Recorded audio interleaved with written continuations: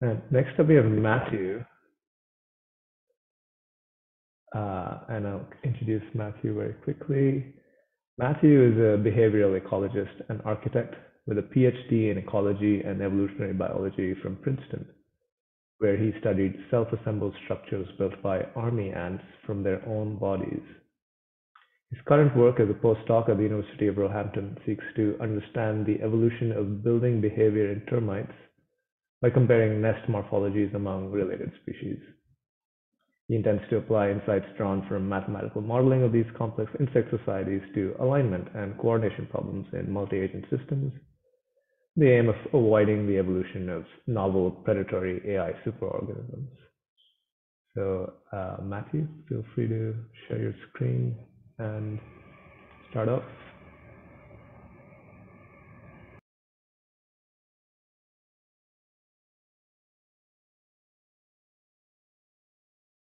Cool. Thanks so much, Sahil. Can you see the screen?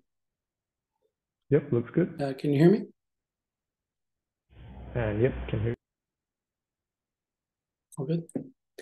Great. Thanks, Sahil, for that introduction and for moderating. And thanks uh, to Nora and Dushan for organizing this event. Uh, thanks to all of you for attending. Um, excited to get into this and, and chat more and answer some questions, hopefully. So I'm going to start this talk um, going back to some previous work that I did um, during my PhD and previous postdoc work, uh, as Sahil mentioned, on army ants. Um, I think it's important to uh, to kind of frame the talk uh, with this with from this motivation because that's what's really motivating uh, all of my work in in AI safety these days um, essentially, I've studied uh, for my PhD work uh, in the field these uh, army ants, which are this kind of slightly terrifying um, nomadic predatory superorganism. Um, so this is a diagram. If you if you think about zooming out uh, above the rainforest floor, um, this is a diagram of what a typical army ant raid looks like over the course of a day. Uh, so starting um, in the morning, uh, from the bivouac, which is temporary nest structure that these ants build out of their own bodies. Um, slowly throughout the course of the day, the raid progresses, uh, can go up to 100 meters uh, from that bivouac site. Um, and it's basically this marauding swarm that's that's just uh, moving back and forth like a like a Hoover or a vacuum cleaner across the rainforest floor, um, consuming whatever small prey items uh, can't escape uh, the the swarm and they're feeding on um, other arthropods, um, other social insects colonies. Um, and there's over the course of the day, you get this sort of uh, very complex trail network emerging that's almost like a kind of um, an Amazon sort of infrastructure network uh, where there's prey are being processed in certain areas, um, dismantled and transported back uh, across this network. Um, so here's just a, a example video of uh, a bridge that these ants build out of their own bodies, which was the main focus of my PhD work and postdoc work. Um, so to sort of optimize the flow of, of travel and the transport of resources, these uh, army ants build bridges out of their own bodies um, to sort of modify the landscape.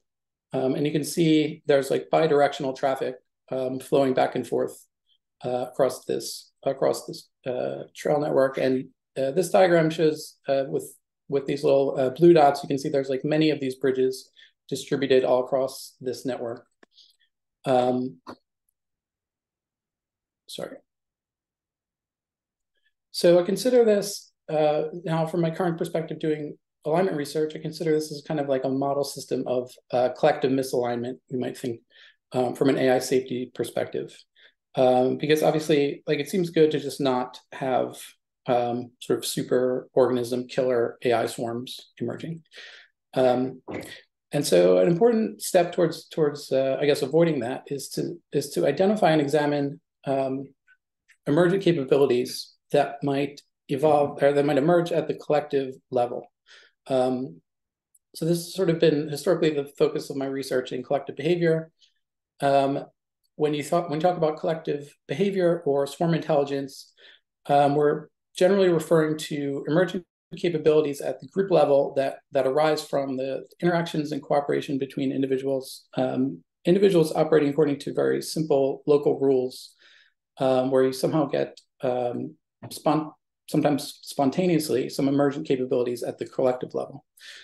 And in the case of biological systems we have a few techniques um, uh, uh, for how we can uh, identify and examine these capabilities um, so we might start with just observing behaviors in the wild. Um, in my field work in Panama, we would observe these bridges forming, and then that that sparks questions uh, about how they how they form and why. Um, so then you might uh, you might move on to comparing between other species, um, other closely related species, uh, and see okay this there's some like step function that happens where okay this this species has has some emergent capability that other species do not possess. Um, and we might also compare it to like individual abilities. So we might say like okay this species can do something as collective that individuals have no access to or individuals can't perform. Um, and then to further investigate that we might perform like manipulative experiments which i did um, in the field but you might also do uh, in a lab setting. In this case the ants that i studied uh, they're in these huge, massive colonies of hundreds of thousands of ants, and they're nomadic. Um, so because they consume so much prey in any one area, they need to move every night. So they can't really be kept in a lab. Um, and then you might also do some kind of mathematical modeling simulation modeling um, to try to get at the underlying mechanisms uh, to understand these emergent uh, behaviors. And so in this case, that's what we did. Um, when we observed uh, the bridges forming in in the wild, we uh, we had this idea that it, it, seemed like maybe these ants were building bridges uh, to create shortcuts between uh, gaps uh, between leaves and sticks in the leaf litter um, to somehow optimize their path of travel. So we designed this experiment where we inserted this apparatus into the raiding trail um, of existing uh, raiding trail of, of existing colonies. So we'd have to go out every day and find a raid and uh, somehow insert this apparatus into the uh, existing traffic and get the ants to go up uh, over the apparatus. And what we hope to see, or what we what we um, hypothesize to see, is that maybe if they were in fact building bridges as shortcuts, um, once the ants were going around this sort of angle um, obstacle, they would begin to form a bridge at uh, the top of the angle, and maybe that bridge would move down over time because that seemed to be where we observed most bridges forming like a junction between uh, sticks or leaves. Um, and that's exactly what we did end up seeing in this experiment, uh, which was pretty cool result. So this is over the course of like 15 minutes. Uh, you can see the bridge starts to form at the top uh, of the angle apparatus and then move down over time, um, creating this shortcut. So it was kind of a nice result. And we tested this uh, at different angles. Sorry. I'm stuck.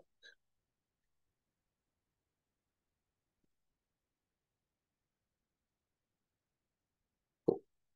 Uh, so we tested this uh, with the, using the same apparatus. We could adjust the the angle, and um, we noticed that the bridges would move down, but not to the same point each time. So depending on the angle, the bridges would move down um, uh, at, at wider angles, they would move uh, less. So you can see here at, at the in this pink band, uh, that's at 60 degrees. So the bridges would move like not very far at all, but at, at more narrow angles, um, like 10 or 20 degrees, they would move quite far.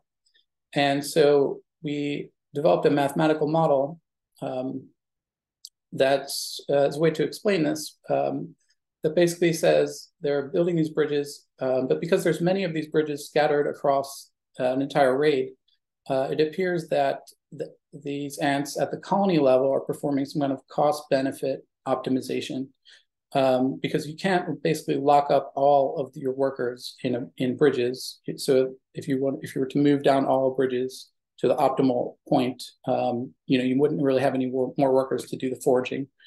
Um, and so what our mathematical model shows is that the, the bridges move down depending on the angle to the uh, the point at some point at which the cost of adding additional workers into the structure outweighs the benefit uh, of the shortcut or the energetics saved by going around the shortcut.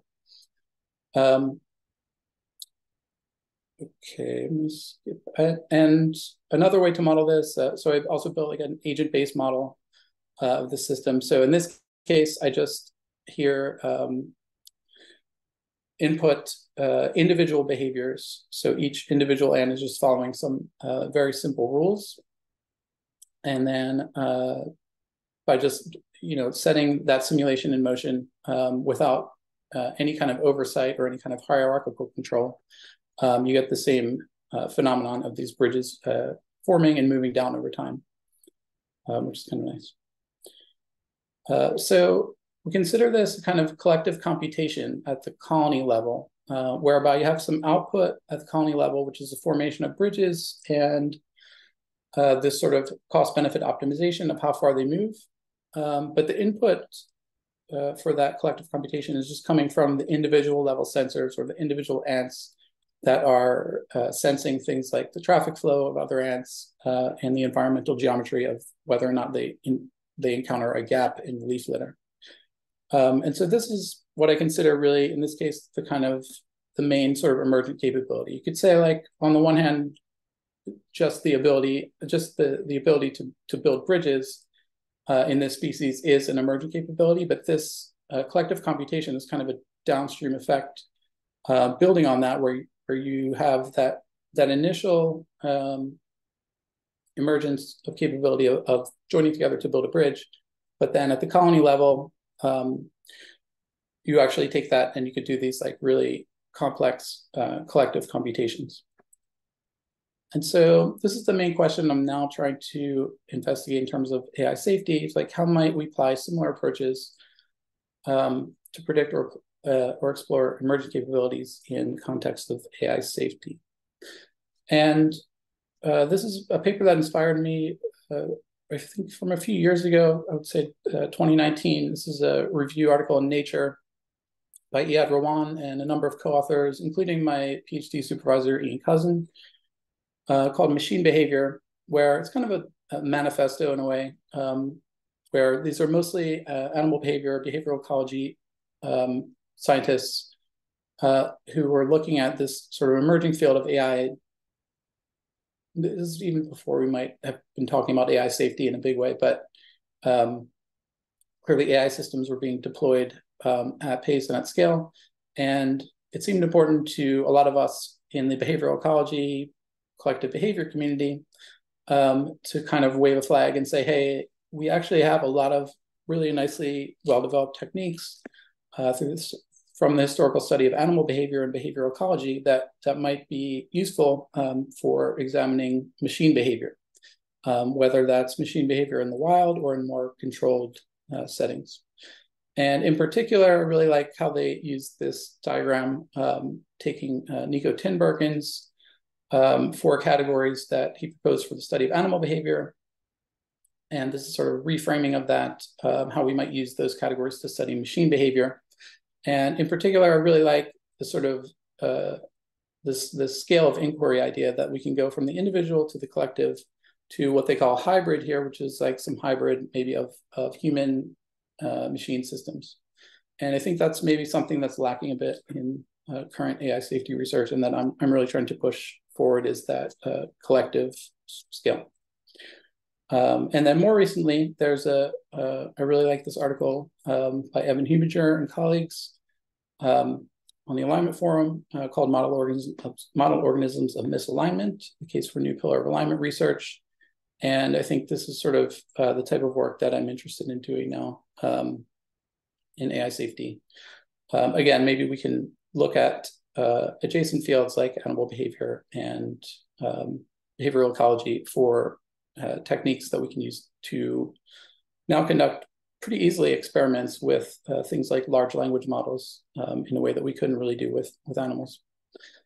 Um, so yeah, this brings me to my main current research question, which is uh, kind of what novel capabilities might, might emerge in specifically in LLM collectives um, versus uh, single instances of more powerful models, um, if there are any, I don't know uh, but how might we design experiments to safely explore this possibility space? And the rest of the talk is just going to be a few uh, kind of preliminary uh, attempts that I've made during the PIBBSS fellowship to look into this. Um, so the first experiment that uh, we did uh, during the PIBBSS fellowship was collaboration with uh, Shambhita Modak and our mentor Lionel Levine. Um, okay, and we wanted to look at uh, this idea of textual evolution or evolution in a textual environment. Um, so the sort of framework for this uh, project was looking was thinking about how genes combine um, and maybe have um, interactions um, between uh, genes. Um, sorry, I'm skipping a few slides here, but just for time, I'm going to move quickly through this. Rather, um, instead of genes, we thought, okay, what if we could use like prompts um, uh, to play to fulfill the role of genes? And here I, I, can also imagine these prompts being like agents in a way, um, even if it's prompts to the same LLM. Um, I kind of I will use the word agent very loosely here, and hopefully uh, other people can uh, clarify what that means in a better way. The philosophers among us.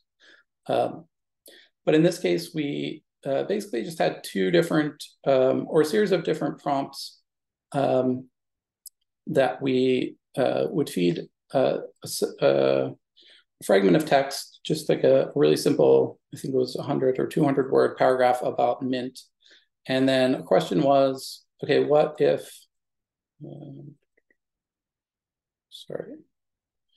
Uh, so we have some input text um, and the output text, and then the output text. Um, so each round we would feed the, the, input text to the model with some prompt, uh, and then the output text would be fed back in to uh, the same uh, model with uh, basically we're alternating between different affects like positive and negative, um, or different personas like marketing copy, um, write this in the style of historian, um, sorry, so the actual the actual prompts were something like very simple, like, can you rewrite this text with a more positive affect? Can you rewrite this text with a more negative affect?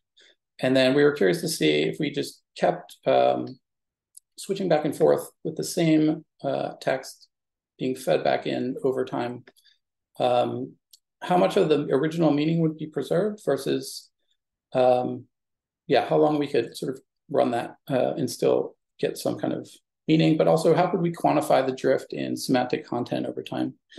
Um, and so the, the quick, the first pass uh, that we did uh, to quantify this was to use this TF-IDF um, quantification, um, term frequency inverse document frequency, which is, a, I guess, just a, a, pretty common way to compare similarities between texts. It's a pretty, it's probably not the best way to do it, but uh, that was what we what we found we could do pretty easily and then compare the cosine similarity of, of the vectors with the original text. Um, and so quickly, I'll just go through these very preliminary results. This is just after, I think, like 10, um, yeah, 10 rounds or 10 generations. Um, and this these results were kind of as expected. So if we have a slight, can you modify this text to be slightly negative versus slightly positive um, over a few round, over a few 10 generations that wouldn't um, change that much. Uh, if you have extremely negative versus extremely positive, it would uh, the the drift would uh, the text uh, meaning would drift a bit more. Um, but surprisingly, we found that these seemed to like level out at a certain point, and we never really got very far below like I don't know sixty percent of the uh, original meaning. Um, so I think there's a lot more to look into here. We didn't really pursue this after this initial these initial studies. Um, but there seemed to be some kind of like baseline mutation rate, even we, we called it. Um, so if, even if we just gave prompts like just rewrite this text maintaining the same tone, um, that would sort of drop down a bit, but then uh, kind of level out at a certain level. Um, and if we int introduced more complex prompts uh, like characters, like a marketing copy character, that that seemed to uh, lead to more drift over time, which is like not unexpected. Um, yeah, so this is like a uh, quick little experiment that we did. Um, but however, you know, we called it evolution, but really there was no selection pressure. So it's kind of uh, hard to say it, it, that there's any evolution happening there. It's more uh, just kind of like changing over time. Um, but we had some, we have some interesting questions for follow-up experiments to do here, which are, are things like what would happen if these prompts are competing, different environments, or this is really interesting to me, what if each agent kind of knows it's playing a game? Um, so like which tonality might win in the end, might win out in the end um, in those cases. Um, cool.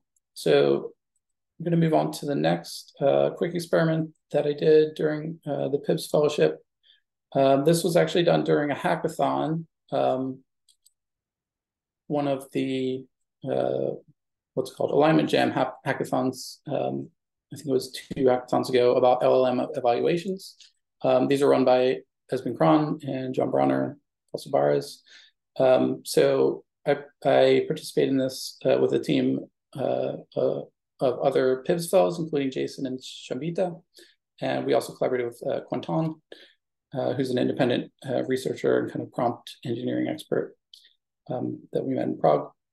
Um, in this case, we were interested to see whether LLMs could recognize and distinguish between text that was generated by them, what we call themselves, or um, whether an LLM could recognize its, its own text uh, versus human generated text or text generated by another LLM.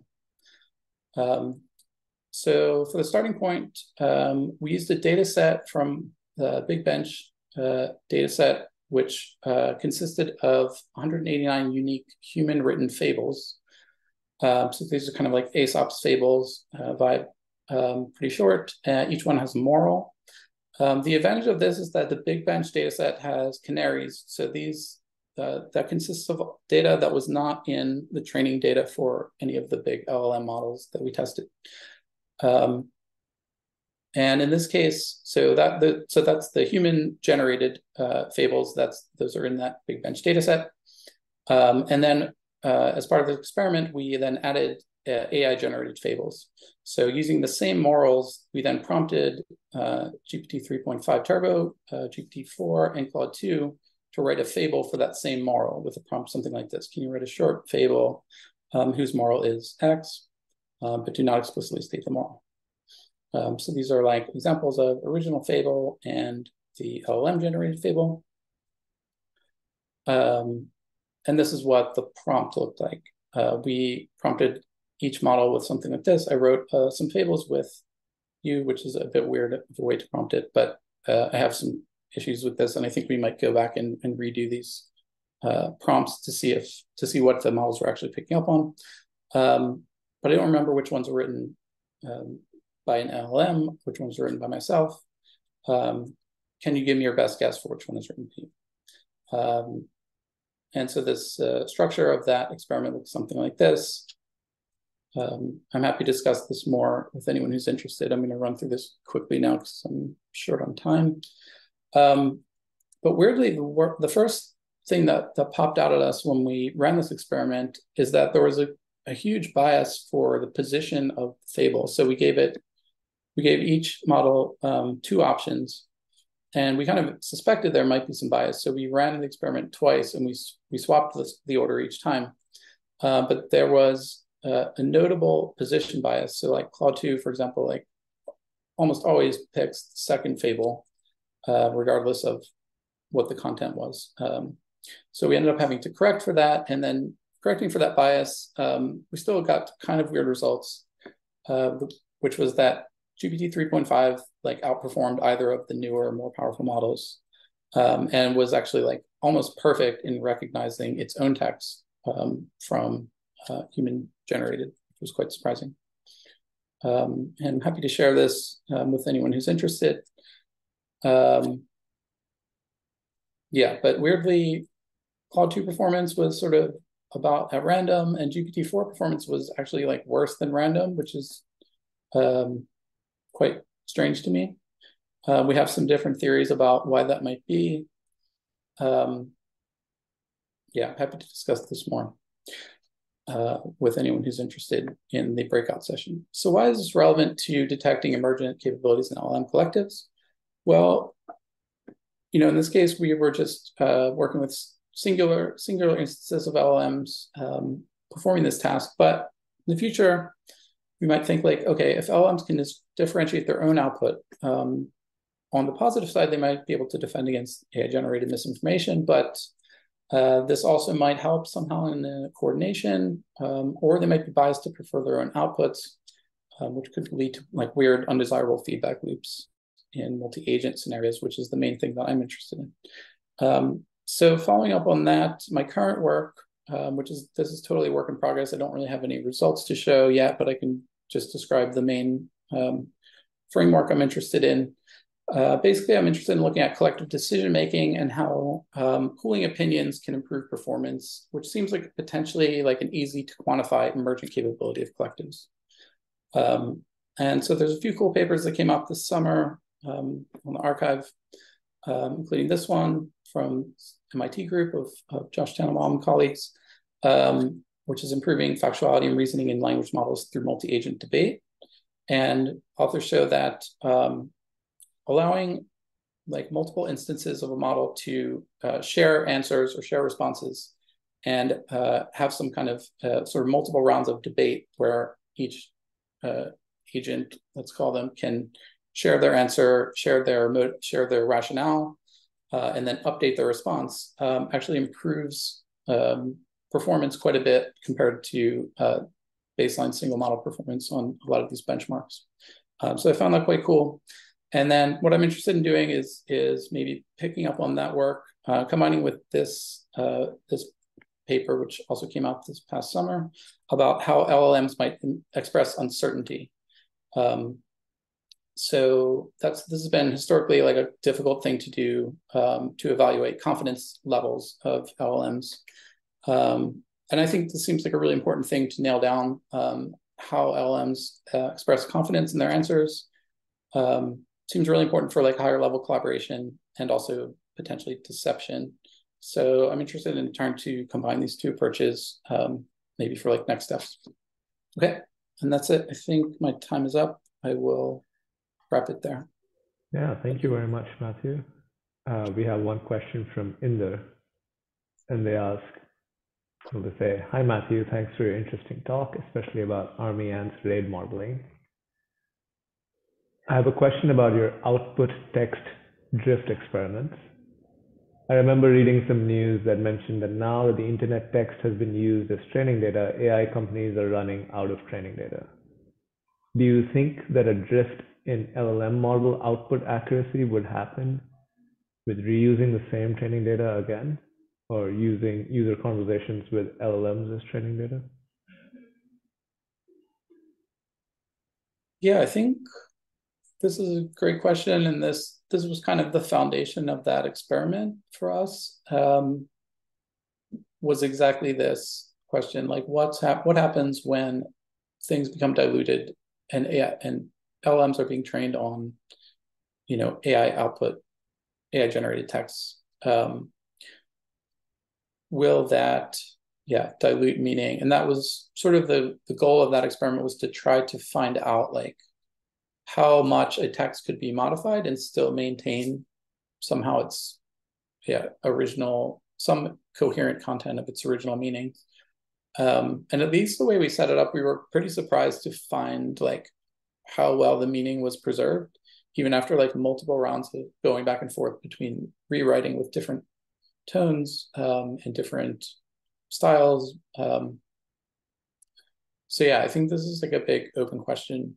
um, which seems super important um, to know, like how much how important it is um, to yeah. have yeah some kind of baseline compared to like original meaning versus AI generated. No, thanks for your thoughts on that, and thank you for a wonderful talk and everyone who joined.